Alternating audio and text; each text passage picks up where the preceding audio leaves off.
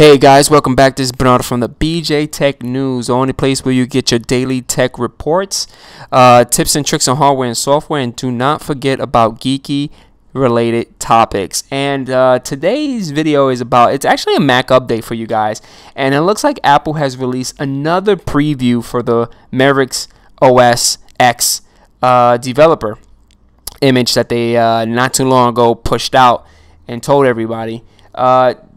The build is called uh, Preview 3, but in reality, the build is actually identified as a number as 13A510D. Uh, this is the rundown of what's what. It gives you the developer's preview system requirement. I should have read that when I did my first boot with you guys. Uh, but, you know, you live and learn. Uh, some of the notes and known issues about the new Preview 3 and what's been uh, fixed with Preview 3 because there was a lot of issues that a lot of people were complaining on Preview 2, which was the second build.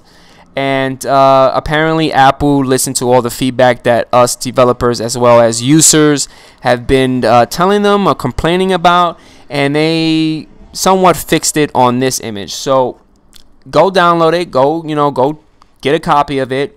I'm gonna actually download and upgrade my machine right now. I haven't done it as as of yet. So I'm going to show you guys I'm still on preview 2, which preview 2 is built 13A497D. Uh, I think the upgrade is a huge upgrade. It's not like a 500 megabyte. It's actually like a, a gig or two gigs. So it's going to take a while to upload it. And once you finally upload it, you're going to do a reboot.